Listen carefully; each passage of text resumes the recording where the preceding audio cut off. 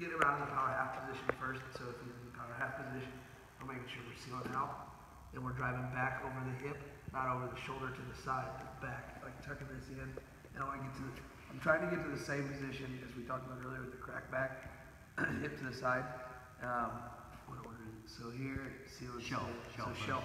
So the shelf is getting to that crack down position that we talked about earlier. So to do that, I'm, I'm just gonna be, this guy's gonna be, a good leg rider is gonna be trying to keep circling around. So I've gotta chase that circle. Okay, so I'm gonna keep, keep circling, keep circling, trying to keep my distance. And what I want is to stay sealed out so I don't give him that power half. I wanna attack the knee, elbow inside, and then just like he was talking about earlier, Max talking about asking the question. So as I shoot my hips down, I want my hand up. That gets my shoulder to the mat here. Then I'm attacking toe. I want to keep his toe turned up. He turns down, he starts to curl it and keep it out. If I keep it up and keep knee locked up here, then as I drive to my shelf, I can either change off or he highlights over the top. We cover here. And uh, shelf swim. Uh, you have to swim. Swim.